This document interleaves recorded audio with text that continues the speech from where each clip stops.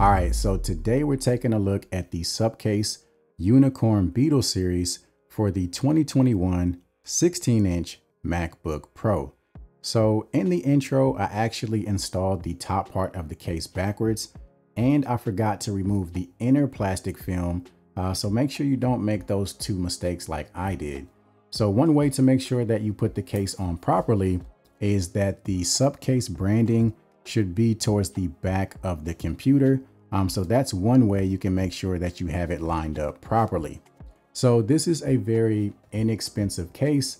Um, it is a little bit thicker than some other cases out there, uh, but personally, I like that. I mean, if you're going to make an investment like the MacBook Pro, um, it's not the cheapest laptop in the world. Um, so I like having something a little bit thicker uh, that's going to help in terms of protection.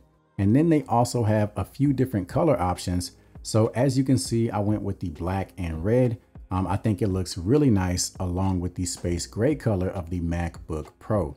So this top portion of the case, um, this see-through area, it's like the flexible TPU type material. And then most of your protection is gonna take place around the perimeter of the laptop. So that's usually where you tend to bump into things. Um, so that's where you have most of that protection. Um, so it is nice and thick, uh, definitely going to help protect around the edges of the computer, which is definitely very important. And then one thing I didn't mention, it even has like some carbon fiber inserts right there on the top part. Um, so that adds a nice look as well. And then when it comes to all of your different ports, you have nice accurate cutouts on both sides to give you access to everything that you need. And then if we take a look at the bottom, you do have a total of four rubber feet, uh, which is going to give you some elevation whenever you have the laptop on your desk, um, which should help in terms of ventilation. And then you also have all of these different slits in the bottom of the case, uh, which again is going to help as far as ventilation and helping your computer stay cool.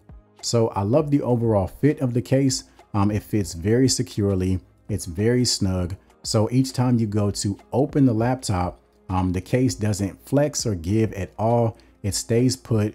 And as you can see, it wraps right over the top of the screen, but it doesn't come in contact with the actual screen. So it's able to fit on there very secure, uh, but you don't have to worry about it scratching your display or anything like that.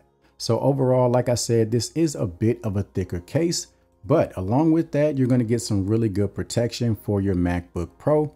So that's gonna be it for this video. A nice short and sweet one today. Uh, so hopefully you found it to be helpful.